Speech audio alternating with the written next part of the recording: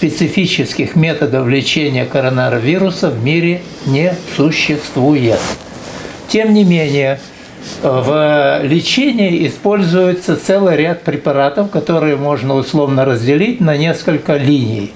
Первая линия – это э, согласно клиническим рекомендациям э, китайским, э, итальянским и наших отечественных фармакологов и врачей, на первой линии стоит, как ни странно, противомалярийный препарат – который называется гидроксихлорофин, который тормозит репликацию вируса COVID-19 в условиях инвитро, то есть пробирки.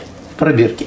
Значит, вот этот препарат сегодня, он используется в клинической практике как препарат номер один. Вторая линия – это также противомалярийный препарат, который носит название хлорохин или его еще название коммерческое – это Делагил. Теперь по поводу третьей линии.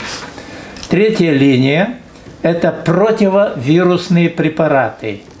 Здесь э, используется комбинация противовирусных э, антиретровирусных препаратов, которые используются для лечения ВИЧ э, инфекции. Это такой препарат, как лопинавир – в комбинации с ритонавиром. Этот препарат, который получил коммерческое название калетра.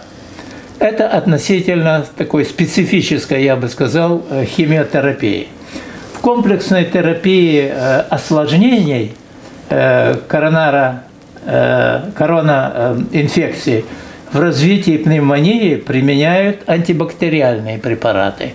Это нам хорошо известные, такие как вторхинолоны, цефалоспорины первого и второго поколения и азолиды, в особенности азитромицин, азитромицин, эффективность которая которого повышается при совместном э, назначении его с препаратами первой группы, то есть гидроксихлорохином.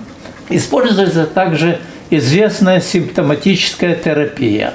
Это прежде всего противо, э,